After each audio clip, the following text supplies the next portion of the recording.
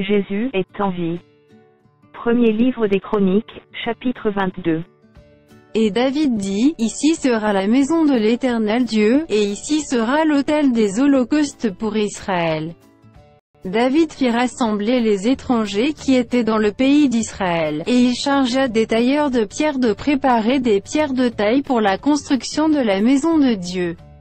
Il prépara aussi du fer en abondance pour les clous des bâtons des portes et pour les crampons, de l'airain en quantité telle qu'il n'était pas possible de le peser. Et des bois de cèdre sans nombre, car les Sidoniens et les Tyriens avaient amené à David des bois de cèdre en abondance.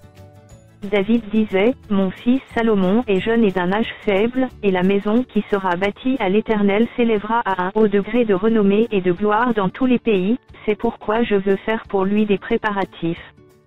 Et David fit beaucoup de préparatifs avant sa mort. David appela Salomon, son fils, et lui ordonna de bâtir une maison à l'Éternel, le Dieu d'Israël. David dit à Salomon, Mon fils, j'avais l'intention de bâtir une maison au nom de l'Éternel, mon Dieu. Mais la parole de l'Éternel m'a été ainsi adressée, tu as versé beaucoup de sang, et tu as fait de grandes guerres, tu ne bâtiras pas une maison à mon nom, car tu as versé devant moi beaucoup de sang sur la terre.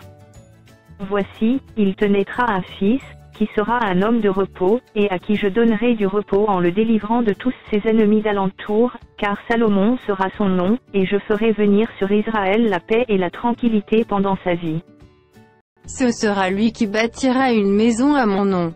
Il sera pour moi un fils, et je serai pour lui un père, et j'affermirai pour toujours le trône de son royaume en Israël.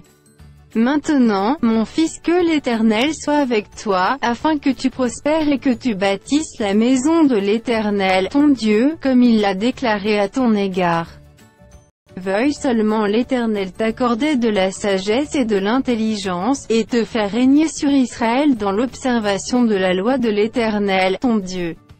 Alors tu prospéreras, si tu as soin de mettre en pratique les lois et les ordonnances que l'Éternel a prescrites à Moïse pour Israël. Fortifie-toi et prends courage, ne crains point et ne t'effraie point. Voici, par mes efforts, j'ai préparé pour la maison de l'Éternel cent mille talents d'or, un million de talents d'argent, et une quantité d'airain et de fer qu'il n'est pas possible de peser, car il y en a en abondance, j'ai aussi préparé du bois et des pierres, et tu en ajouteras encore. Tu as auprès de toi un grand nombre d'ouvriers, des tailleurs de pierre, et des charpentiers, et des hommes habiles dans toute espèce d'ouvrage. L'or, d'argent, les reins et le fer, sont sans nombre. Lève-toi et agis, et que l'Éternel soit avec toi. David ordonna à tous les chefs d'Israël de venir en aide à Salomon, son fils. L'Éternel, votre Dieu, n'est-il pas avec vous, et ne vous a-t-il pas donné du repos de tous côtés?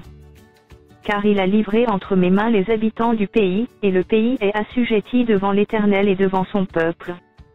Appliquez maintenant votre cœur et votre âme à chercher l'Éternel, votre Dieu, levez-vous, et bâtissez le sanctuaire de l'Éternel Dieu, afin d'amener l'arche de l'alliance de l'Éternel et les ustensiles consacrés à Dieu dans la maison qui sera bâtie au nom de l'Éternel.